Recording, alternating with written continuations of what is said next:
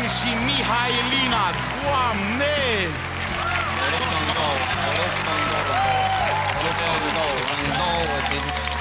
Hai, doamne, fer! E foarte greu la voi pentru că sunteți diferite și totuși v-ați conectat la piesa asta într-un mod excepțional. Felicitări pentru asta. Îți E mulțumim. greu. Îmi place și de tine, Mihailina, și de tine, Carmen, și vă țin minte și din audiții. M-aș întoarce încă de o mie de ori. Felicitări, amândurora. Mulți. Smiley, te rog. Mi se pare că v-ați potrivit foarte bine. Eu era un moment pe care îl așteptam de, de la Tudor, adică genul ăsta de moment pe rocăreală nebunală. După gusturile mele, cred că îmi place mai mult Carmen. Am înțeles. Dar amândouă ați fost fantastice, adică e doar o treabă de gust. Aici nu ne-am fi înțeles eu și Smiley. Ador distorsul tău, Carmen. Mihailina, în schimb, mi se pare că te-ai regăsit.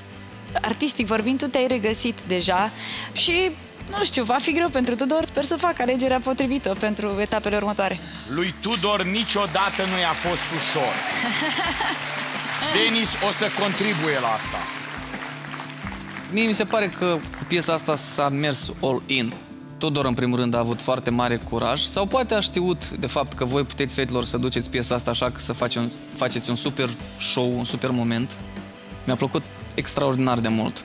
Tot aș înclina un pic mai mult cântarul uh, în uh, favoarea Mihailinei, doar datorită faptului că am simțit-o mai pliată pe piesă. Deci ești lămurit, Tudor. În ce vă privește pe voi.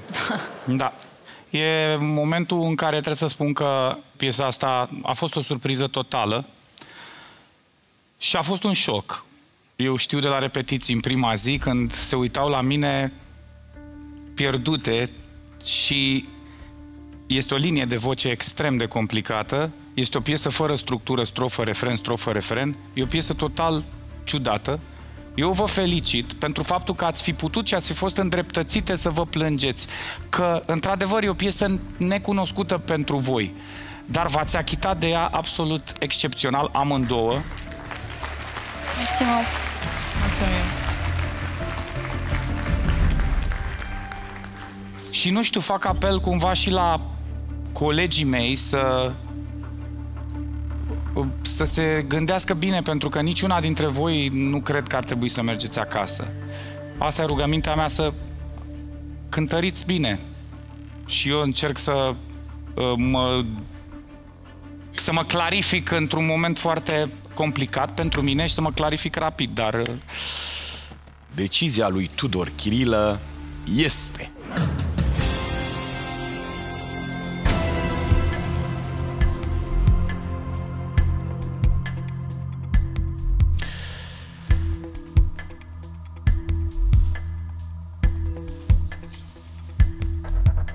Băi, sunteți unul din cuplurile pentru, uh, cu care mi-a plăcut cel mai mult să lucrez.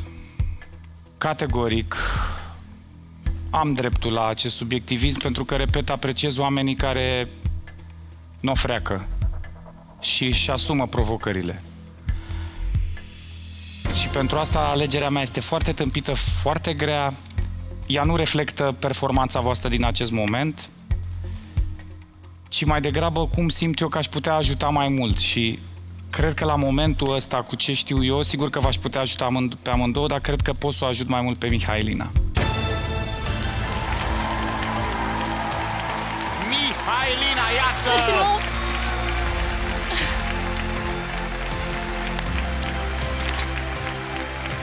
Mihailina! Cred că mă inspiră un pic mai mult, deși știam drumul pentru Carmen. Drumul pentru Carmen era destul de safe pe partea de rock, aveam un, uh, un drum pentru ea. Pentru Mihailina n-am nicio idee. Și asta cumva mă face să cred că o pot ajuta mai mult, că pot să mă, uh, să mă provoc eu pe mine, să dau ceva. Asta este ce simt acum. Deci acum rămâne la latitudinea voastră dacă mi acordați încrederea sau nu. Decizia antrenorilor este...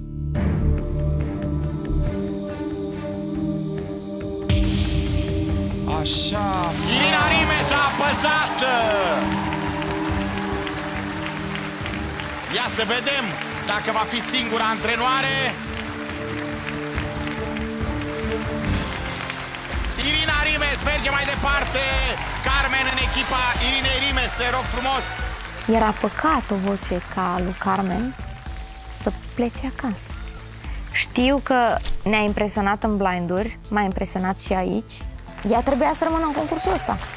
Carmen continuă la vocea României în echipa Irinei Rimes.